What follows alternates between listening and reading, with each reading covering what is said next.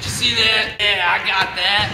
My name is B-Ball Dude, and here I'm gonna be talking about a little bit of basketball, and not only that, but how we can relate it to geometry.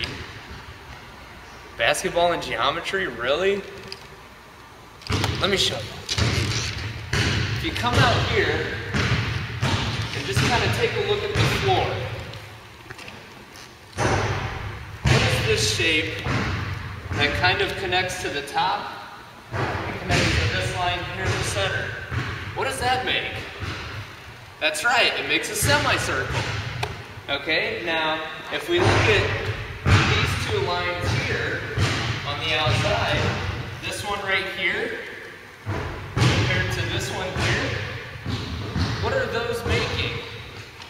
Those are actually parallel lines that eventually connect to the semicircle. So then what else do we have? we've got this shape right here. It's actually a rectangle. And we have other small ones here and here. And then, what else do we have? We've got these red lines down here that are actually parallel to the baseline.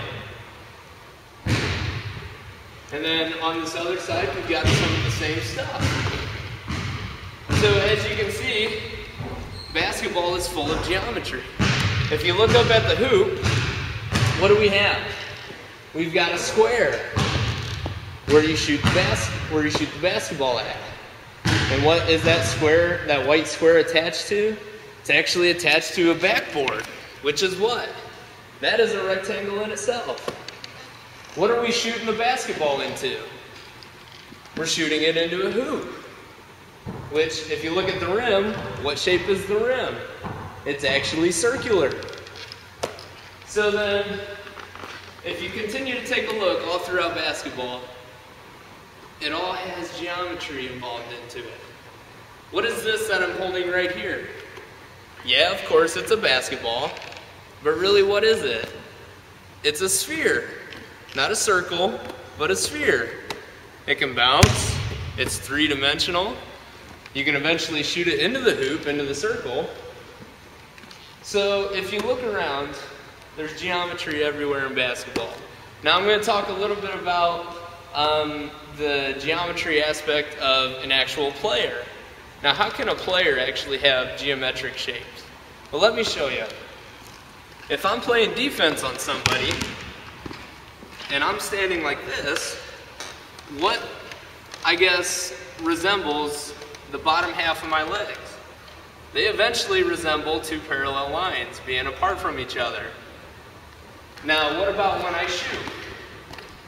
When I shoot, I'm going to stop about middle of my motion, and I want you to look at my arms for a minute, specifically the one where the ball is being held at. If I'm getting ready to shoot, and I stop right here, what does this roughly resemble? It roughly resembles a 90 degree angle. So isn't that cool? And then eventually if you shoot the ball at the backboard, what do I have to shoot it on? I have to shoot that on an angle